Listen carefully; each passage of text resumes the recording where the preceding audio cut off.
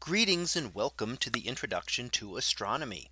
In this lesson, we are going to talk about the different types of spectra that are observed in astronomical sources and what they are able to tell us. Now we've looked at we look at uh, spectra is one way that we can split up the light and learn more about an astronomical object. Light itself is the only way we can learn about objects out in space, whether that be visible light or infrared or ultraviolet or X rays or gamma rays. But they are the only ways we can learn about things. And by splitting light up into its spectra allows us to learn even more about those objects. So let's start off here we're going to look at how we create a spectrum in the first place. So how does that spectrum get created? And it is created by taking white light, which is composed of all of the colors of the rainbow and sending them through a object like a prism or a diffraction grating that astronomers use that splits the light into its component colors. So we see here white light coming in and each of those wavelengths of light. Remember that light will have different wavelengths, blue light having a shorter wavelength, red light having a longer wavelength. Each of those is bent by differing amounts. So as they cross into this prism, the blue light gets bent a little bit more and then a little bit more coming out. And when we look at the screen here, we end up seeing the blue on this side and the red on this side because the blue has been bent a lot more than the red in this time. So now we're able to see not just the light and get pictures coming from the stars, but we're able to see other uh, other details of the spectrum as well. Now, why is this so useful? Well, when we talked about the black body spectrum, that was able to tell us things about temperature and brightness of the stars. So we were able to look at just images of the stars. We could see how much light they were emitting or how bright they are. We could use the colors to tell us what the temperature was. But when we actually get the spectrum, we can learn things about the composition. What are stars made of? We can learn how the stars are moving and more. But these are just a couple of the very important ones. How do we find out what a star is made of when we can't go get a sample of it and bring it back to the laboratory? Well, we use its spectrum to be able to determine that. And we're going to look a little bit about how that works here. So what are the different types of spectra that we see? Well, first of all, we can see an example of a continuous spectrum. A continuous spectrum is formed by a solid, a liquid, or a dense gas. And you might realize that takes care of lots of objects that we're used to thinking of here on Earth, but not as much when we look out in space. A continuous spectrum is just that is continuous with no breaks in it. So it goes from all of the colors from the violet over on one end to the red on the other without any breaks in between it. And even though I'm showing visible spectrum here, it does include all electromagnetic radiation. It includes gamma rays through radio waves. So all of it is concluded here in a visible spectrum. We look at the red, the red through the violet. We could also look at a radio spectrum or spectrums across other types of electromagnetic radiation. Now these are emitted by black body sources. Recall that those are objects that emit uh, light based only on their temperature. So things like an incandescent light bulb with a filament inside would give you a continuous spectrum. Things like stars, if we ignore their atmosphere, would give us a continuous spectrum. They are just a solid black body source and give off all energy based only on its temperature. So that is one type of spectrum that we can see. Others that we can see are an emission spectrum.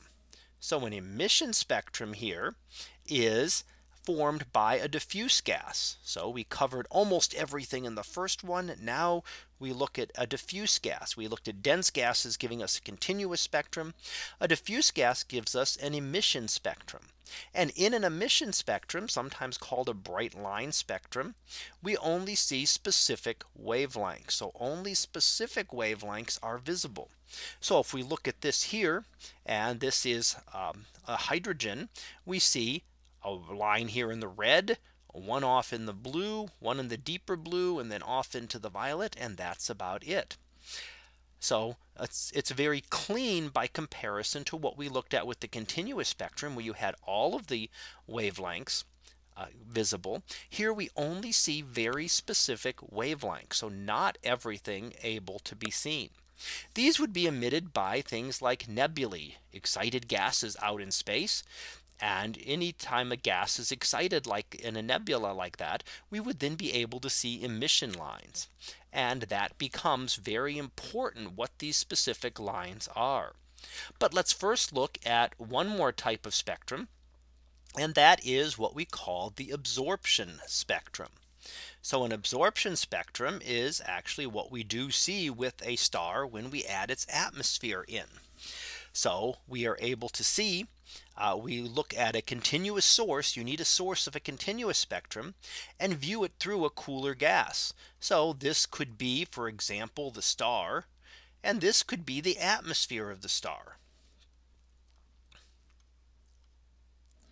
And that means we call this sometimes a dark line spectrum and specific wavelengths are now removed. So there are wavelengths missing from this.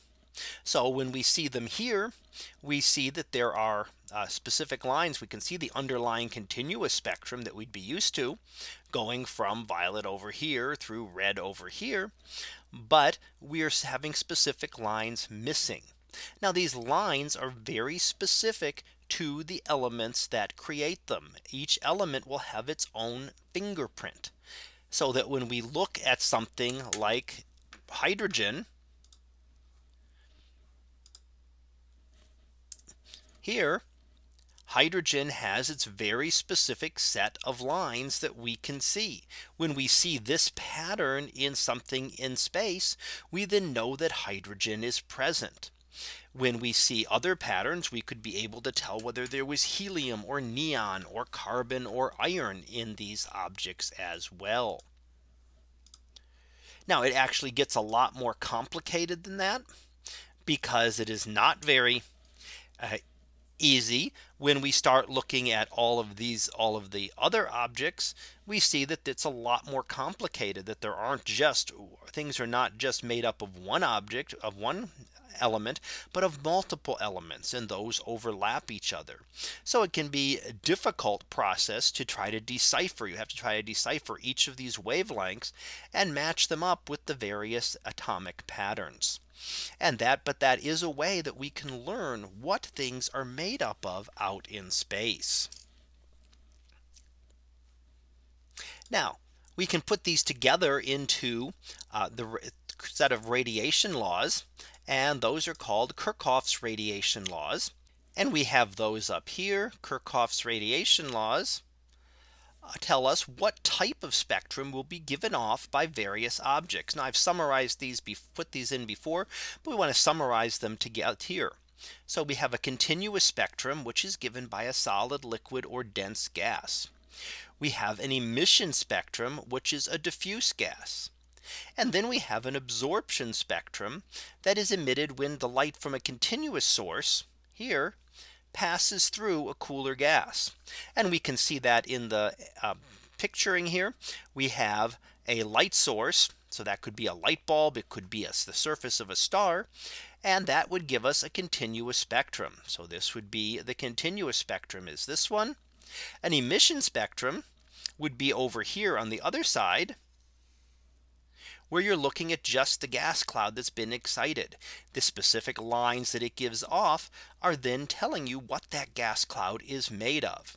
And finally, you can have an absorption spectrum when you look at the continuous source through a gas cloud.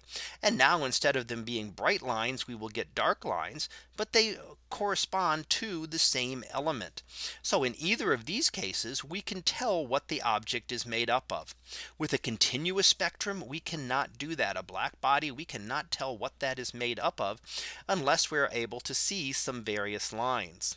And in reality, when we're seeing this, we're not learning the composition of the light source itself. We're learning the composition of the cloud. So this cloud here is what is doing the absorption. And that is what we are learning the composition of. So let's summarize a little bit what we've gone over here. And that is that the spectra can be used to determine many properties of the stars. So we can look at stars, we can look at galaxies, we can look at nebulae, and we can learn about all of these different astronomical objects and what they are made uh, and what they are composed of, how they're moving as a couple of examples.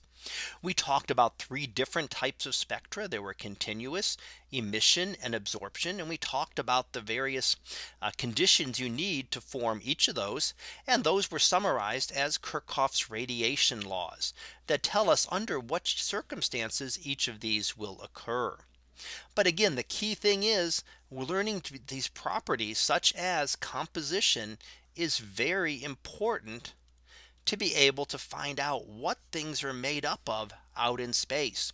We have no other ways to get a sample, for example, of a star. We have to use the light that comes from it to be able to find out what it's made of. So that completes our uh, that completes our lecture on the radiation uh, various radiation laws and types of spectra. So we'll be back again next time for a, another topic in astronomy. So until then, have a great day, everyone, and I will see you in class.